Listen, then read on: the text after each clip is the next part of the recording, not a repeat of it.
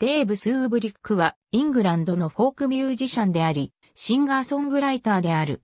彼はアシュリー・ハッチングスによって最も影響力のあるフィドル奏者であると説明されており、彼のスタイルはほとんどすべての英国及び多くの世界のバイオリン奏者によってコピー、または開発された。彼は第二次ブリティッシュフォークリバイバルによって生み出された最も高く評価されたミュージシャンの一人であり、1960年代の最も重要なグループとプロジェクトの一部に貢献し、フォーク及びフォークロック音楽の主要人物の多くと共に活動して非常に人気のあるセッションミュージシャンとなった。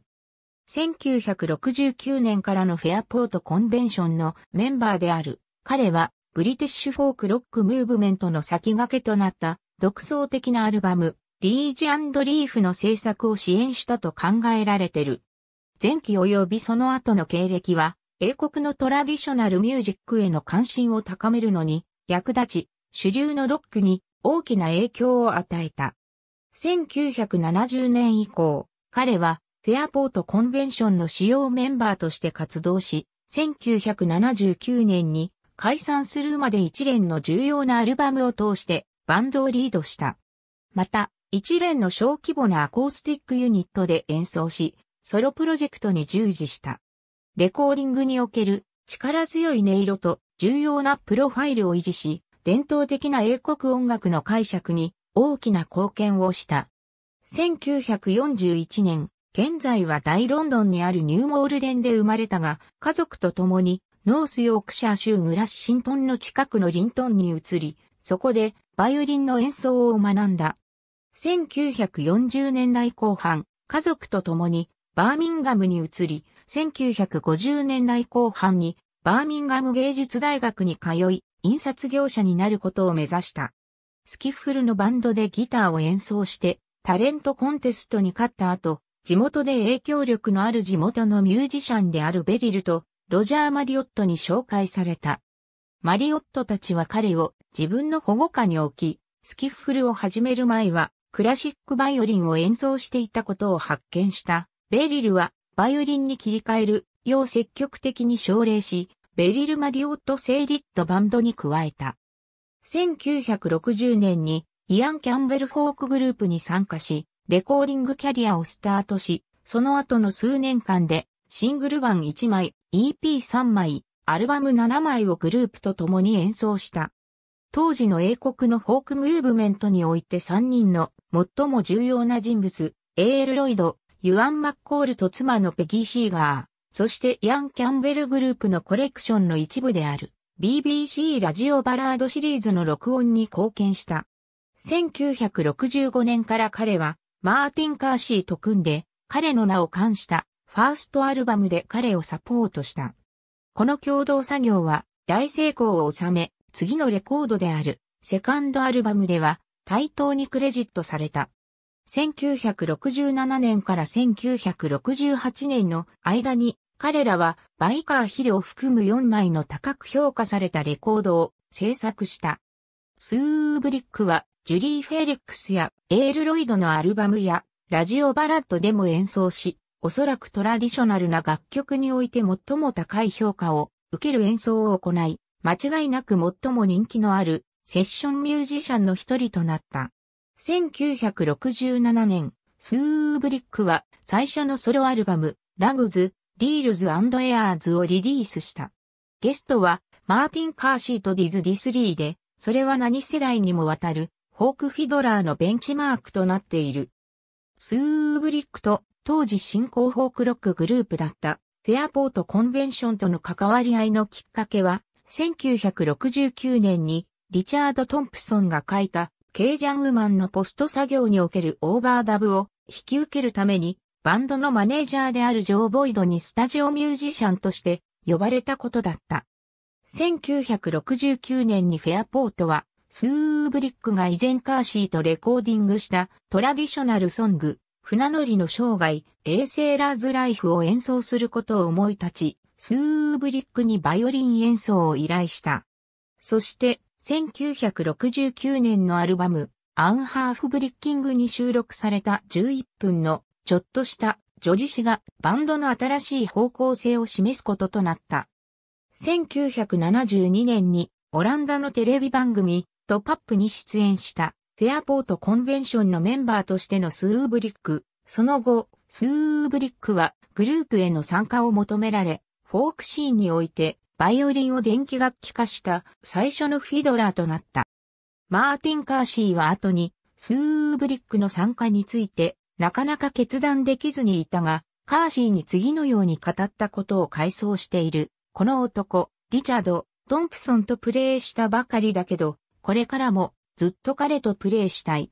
リチャード・トンプソンとのクレイジー、マン・マイケルの共同執筆により、彼らは画期的なアルバム、リージ・リーフを制作した。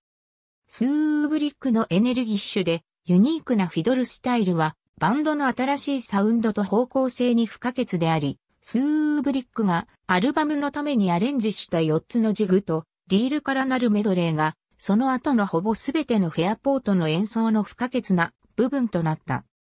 アルバムがリリースされる前に、バンドの主要メンバーのうち、創設メンバーのアシュリー・ハッチングスと、シンガー、ギタリスト、ソングライターのサンディ・デニーがバンドを去ったが、スーブリックはロックのコンテキストでトラディショナルミュージックを演奏する可能性に興奮していたので、バンドにフルタイム参加することになった。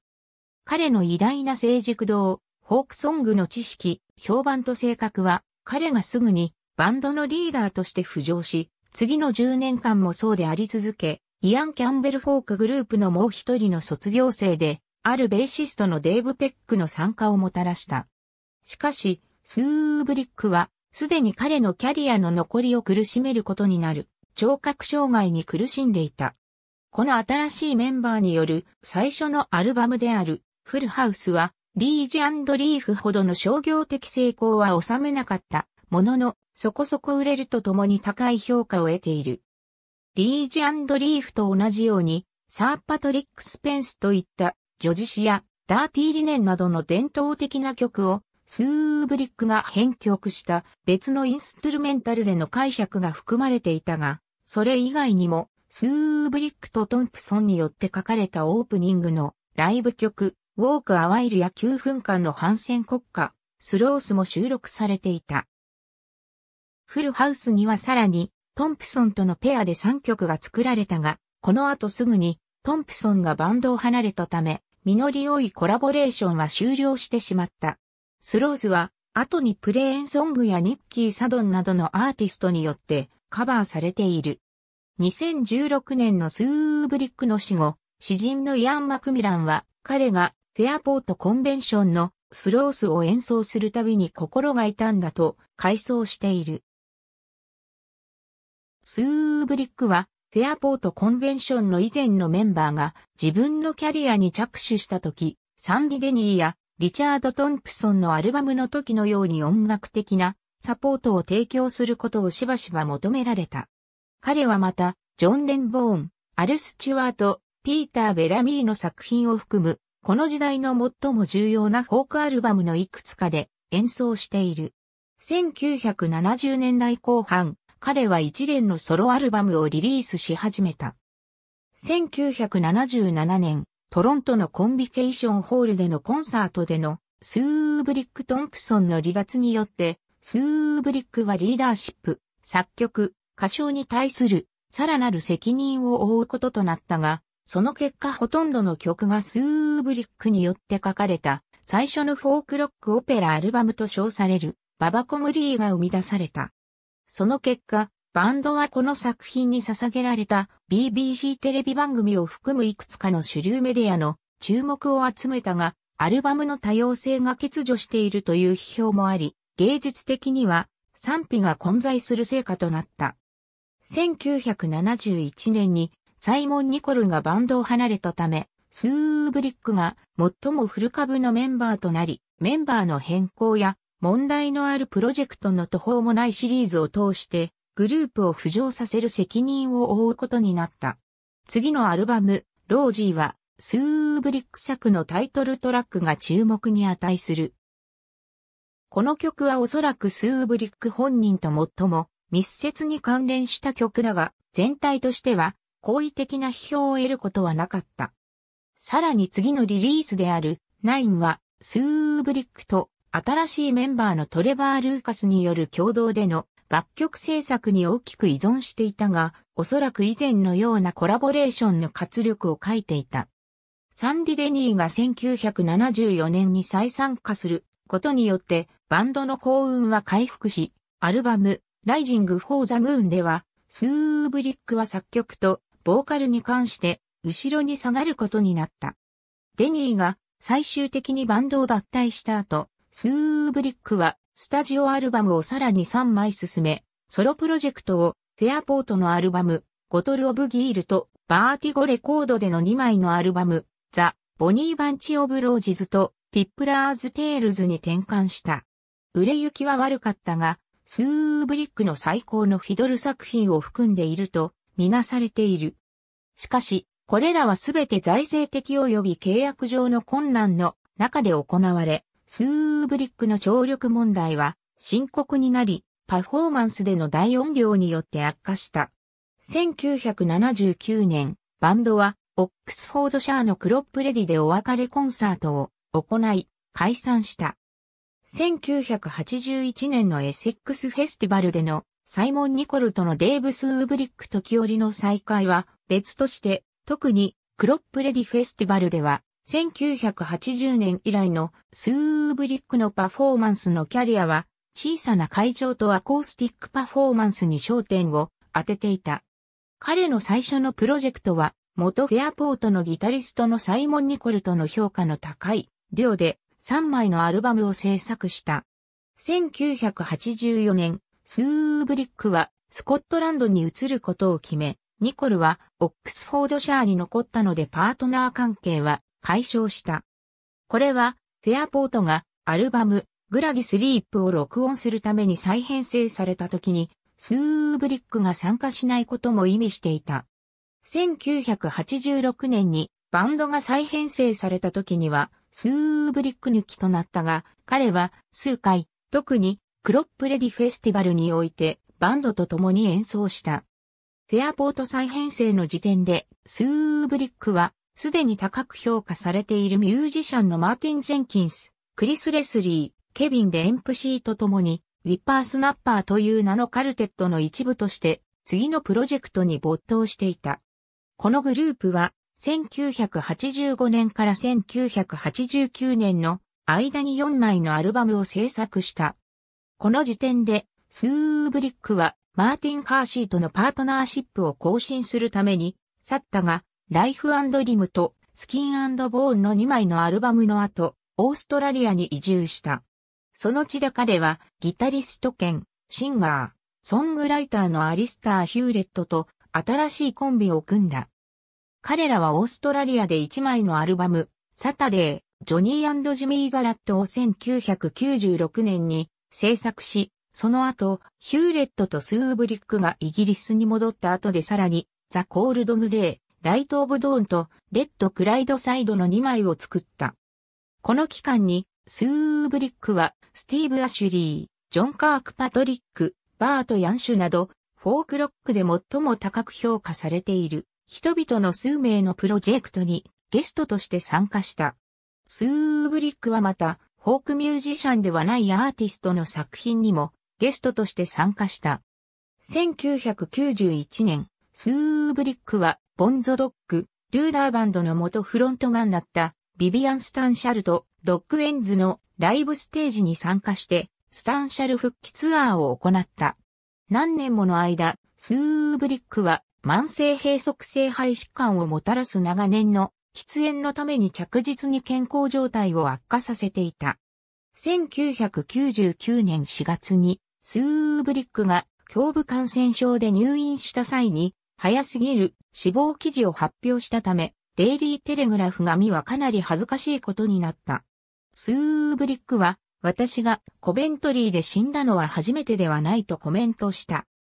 デーブクリスティン・ペックは、1999年7月にバーミンガムのシンフォニーホールでの資金調達コンサートを含むスーブエイドをはじめ、彼の健康状態の悪さでスーブリックが働くことを妨げている間に、スーブリックの資金を調達するためにフェアポート、コンベンションに参加した限定版の1999年のライブ EP、スウォーブエイドをリリースした。別の健康問題の再発後、ペックラは2004年に同様のコンサートでスーブエイド2を始めた。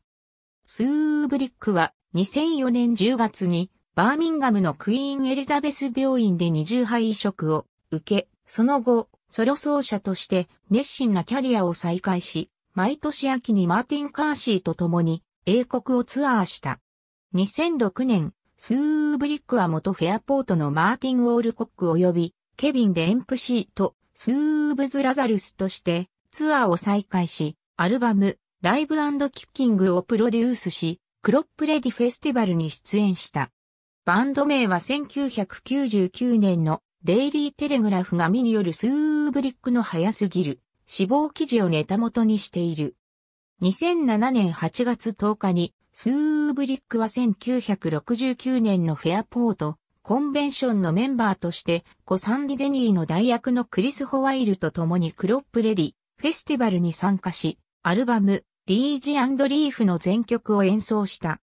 最も注目すべきは、リージ・リーフのメンバーとクリス・ホワイルが、同年の BBC ラジオ2のフォークショーで演奏するため、最初に再編成していたことである。大好評を受けたスーブリックのソロアルバム、レゾン・ディ・エトラは2010年7月にリリースされた。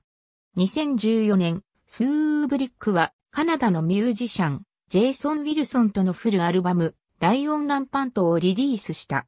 批評家から絶賛されたこのアルバムには特別ゲストとしてマーティン・カーシー、ペギー・シーガー、ピー・ウィー・エリス、ジョン・カーク・パトリックが参加していた。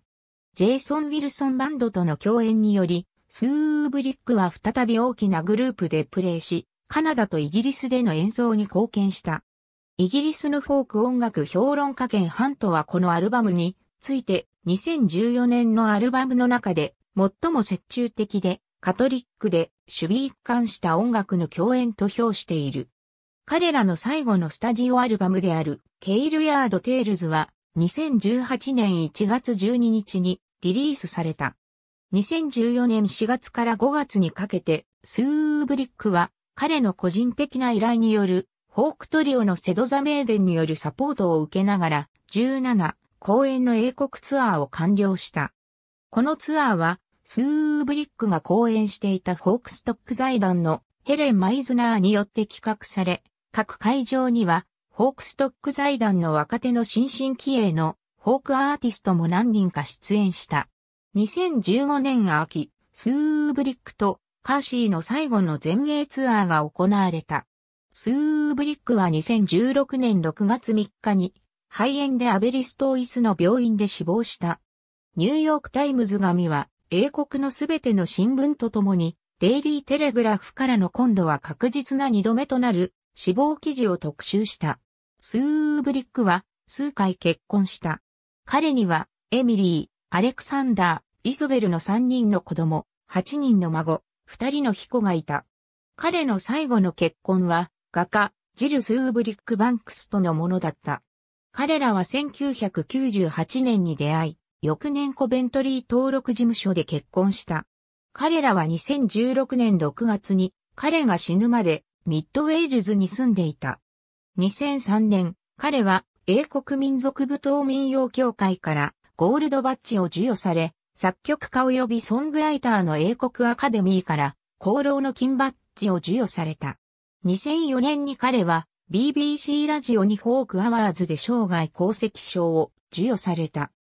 2006年のフォークショーではラジオ2のリスナーから最も影響力のあるフォークアルバムに選ばれた独創的なアルバムリージリーフが受賞した時に、現在及び過去のフェアポートコンベンションのメンバーと共有した。2007年の賞では、マーティン・カーシーとデーブ・スーブリックはベストデュオ賞を受賞した。2012年のフェイティ賞で、スーブリックは生涯功績賞を受賞した。イアン・キャンベル・フォークグループ、ユアン・マッコル、アルロイド、ペギー・シーガーとの初期の仕事を考慮し、多くのアーティストのアルバムにゲストミュージシャンとしての仕事を含めてスーブリックは167以上のアルバムの出演が認められる。引用元。ありがとうございます。